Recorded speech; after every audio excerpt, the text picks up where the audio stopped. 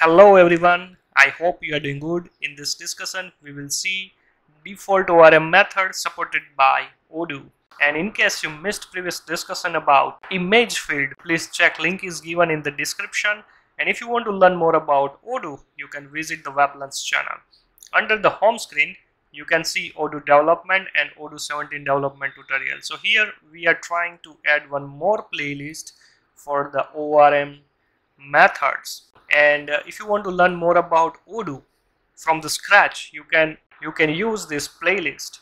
It covers all the Odoo 17 development tutorial. And still I have to cover a lot of things. So in case you want to learn more about different topics you can visit this main playlist of the Odoo. It covers from the 14 to 16 Odoo version with different topics. And you can see here all the topics is already covered here right? So guys i need your help here to subscribe this channel. So let's back to our main topic uh, the list of supported methods by the odoo right? So first thing is the create method. What it is what is the parameters we have to pass uh, what is the return value? Right now we are not discussing anything about any of the methods. Right now we will discuss only like there are a few but very useful ORM methods we can usually use while development all right so the create method is like it will create a new record. You can obviously override this method. Another method is the write method. Write method the purpose is to write the update the record set and it will store into the database. Then after the unlink method. So once you are trying to delete any kind of records first thing is it goes through this unlink method right then after the let's say you want to duplicate the existing record right? So here the copy method will help you.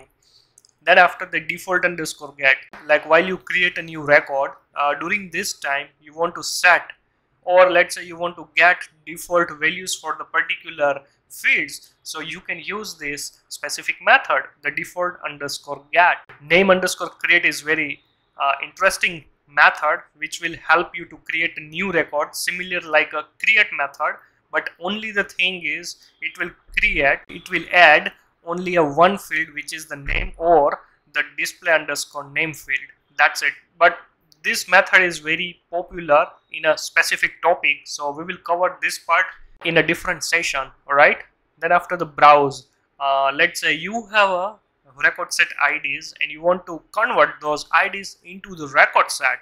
So this method will help you to convert from IDs to the record set.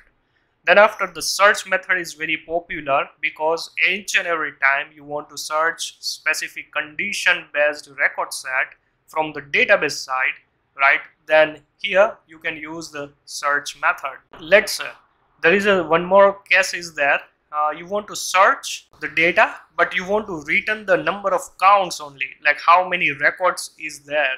Then you can just use search underscore count instead of the search method.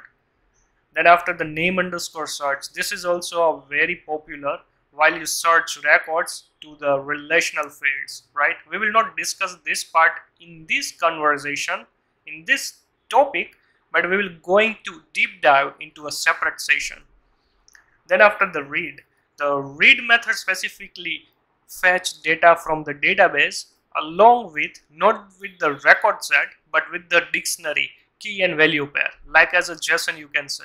Then after the read underscore group. So let's say you want to group by with the specific fields, right? Then you can use the read underscore group.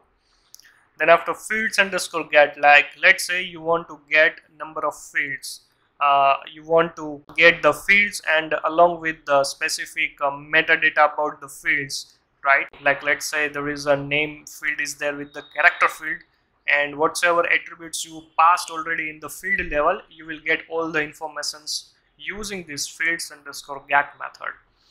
Then after the exist so let's say the record set is really exist into the database or not. So this is the checkpoint method you can use here.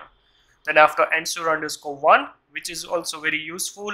Let's say you while once you are using any specific method, the custom method or the ORM methods, right? And over there you want to restrict like the record set the self itself should be the only one record set not multiple record set like that. So in this case you can use ensure underscore one. Then after the get underscore metadata it will return the record sets metadata.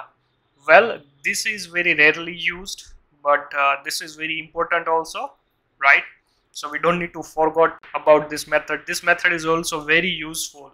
Then after the filtered well once you have a record set right and after you again going to search the data from again to the database uh, based on the record set it's best to optimize your code using the filtered method. So it will filtered from your record set only. No it's not going to search from the database side right? So don't worry about this method you have to just uh, remember what is the purpose at the moment. And we will see practical example with different test cases all right then after the mapped let's say you want to get a specific record sets specific fields field information right? So here in this case we can use mapped method then after the sorted, obviously it will sort the record set from ascending to the descending or descending to the ascending based on your condition.